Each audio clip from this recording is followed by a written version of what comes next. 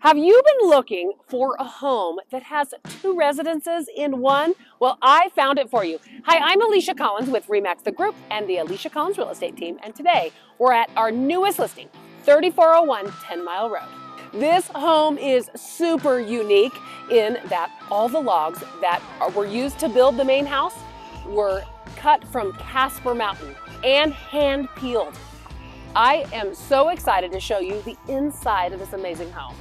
The main house has five bedrooms, three bathrooms, and the other living quarters has one bedroom, one bathroom, and all the other space. The main house is a one and a half story and has over 4,200 square feet. The additional residence is almost 900 square feet and is a one level. So we are talking about over 5,200 square feet of home. I cannot wait to show you the inside. Right as you walk into this home, you are greeted with a warmness that this wood brings. Also, vaulted ceilings, a custom staircase, and an open floor plan. Can you imagine just hanging out in this family room by this gas fireplace? This family room goes into the dining room and into this amazing kitchen. This kitchen is truly the heart of this home. Not only are there hickory cabinets, but there's lots of them. And there's granite countertops, and aren't these appliances absolutely stunning? Stainless steel, six burner gas range. I know y'all want one. Double ovens, a warming drawer, a microwave, and even a fancy refrigerator. Everyone's always looking for a main floor master, and this home has it. Not only is it a great size with a walk-in closet, but you are going to love the master bathroom. It has a jet tub, a tile shower that's actually heated on the floor and the walls, and double sinks. There's one more bedroom and a bathroom. And we can't forget to talk about these gorgeous hardwood floors that go throughout the entire main level. I was initially gonna tell you that the kitchen was my very favorite part of this house, but I don't know, I absolutely love this family room.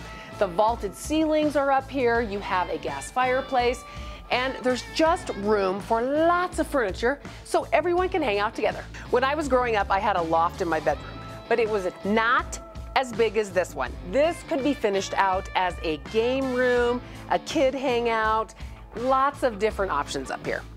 The upstairs also has the perfect spot if you are working from home or work at home sometimes. There's an additional three bedrooms on this upper level as well as a bathroom. The really cool thing about the bathroom is that it has a double sink and a separate room for the toilet and another separate room for the shower. A perfect laundry room up here with the rest of the bedroom. This sunroom can be used as a great spot to drink your coffee in the morning or to work like they do.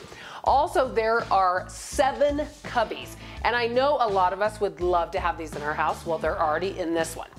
The two car garage is to my right, and behind me is the second residence.